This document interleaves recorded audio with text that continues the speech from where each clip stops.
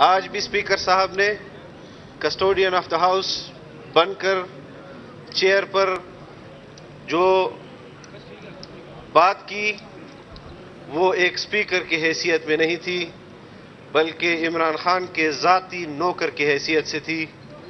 और इस हवाले से जब से अदम अतमाद पेश हुआ है, आप भी मुशाहिदा कर रहे हैं कि पार्लियामेंट लॉजेस पर पार्लियामान के मेंबरान और उनके मेहमानों पर रियासती दहशतगर्दी की जा रही है।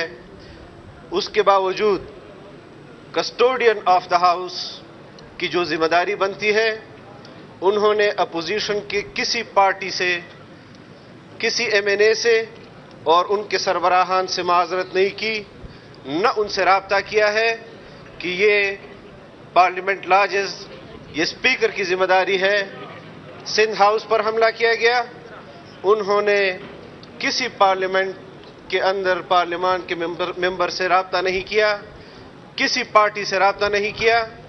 और गुज्त दो तीन दिनों से आप देख रहे हैं कि वो सेलेक्टेड वज़ीर आज़म के लिए पार्टी के वफद के अंदर शामिल होकर पार्टी के हुकूमती इतिहादियों से अपने वज़ीर आज़म के लिए वोट मांग रहे हैं।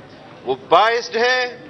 उन्होंने जानबदारी का आमलन सबूत दिया है।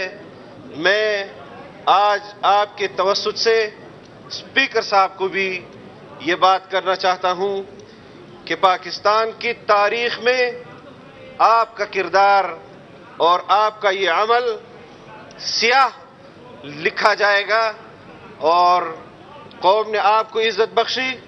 पाँच साल आप सूबे के अंदर स्पीकर रहे और साढ़े तीन साल आप कौमी असम्बली के स्पीकर रहे। आपको चाहिए था कि आप 22 करोड़ आवाम के नुमाइंदे की हैसियत से यहाँ पर बैठकर अहकाम जारी करते। न कि इमरान खान के तनख्वाहदार मुलाजिम की हैसियत से हमने जलसे का ऐलान भी किया है और उस हवाले से भी इंशाला हम पार्लियामान के अंदर और पार्लियामान के बाहर अपनी भरपूर कुत का मुजाहरा करेंगे। और मैं चैलेंज करता हूँ इमरान खान को कि वो एक सौ बहत्तर मेम्बरान कौमी इसम्बली में पूरे करके दिखाए।